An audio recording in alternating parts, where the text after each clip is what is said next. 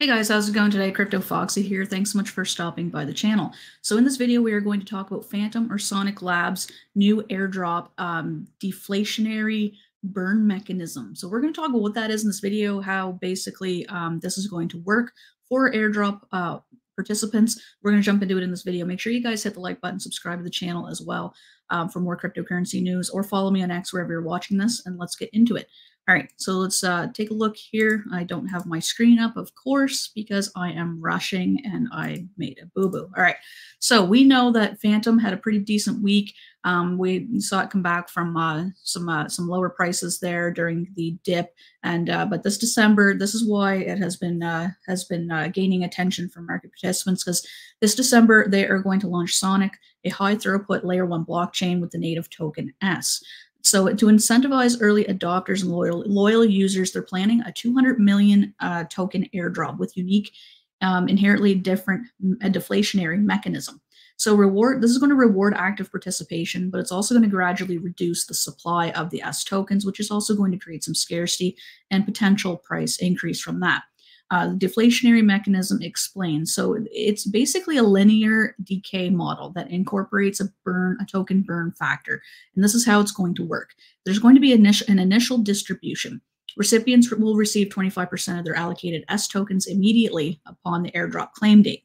So the remaining 75% is going to be locked in a vesting schedule over a nine month period in the form of an ERC 1155 token, which is like a fungible NFT.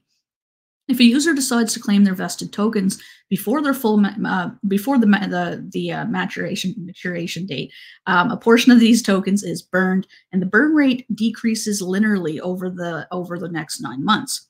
The earlier the claim, the higher the percentage of tokens burned. So um, the chart below is going to show the number of vested tokens users users would lose to the burn mechanism if they claim at different points within nine months. So you can see here, this represents months uh, up to nine months, and this is going to be your percentage. So if you wait the nine months, you're going to get 100%. Um, basically, if you wait one month in, you're going to get just under 90%. Uh, so burn mechanism encourages users to remain engaged with the Sonic network, potentially increasing on-chain activity and ecosystem growth. So the benefits of this deflationary airdrop. So they're going to have a supply reduction. Obviously, that's what the, the burn mechanism is going to be uh, done with through early claims. So if you claim early, you're you're going to burn some tokens, and this is going to create scarcity. So potential obvious price increase from that as well, because it's kind of a supply and demand thing, right, with tokens. Um, this is also going to incentivize holding people are going to be motivated to hold their tokens until the vesting period ends.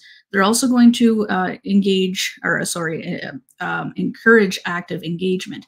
So it's going to encourage users to stay active within the network, and uh, participation can maximize the utility of their tokens during the vesting period. There's also some speculative opportunities, so things that they can kind of expand on in the future.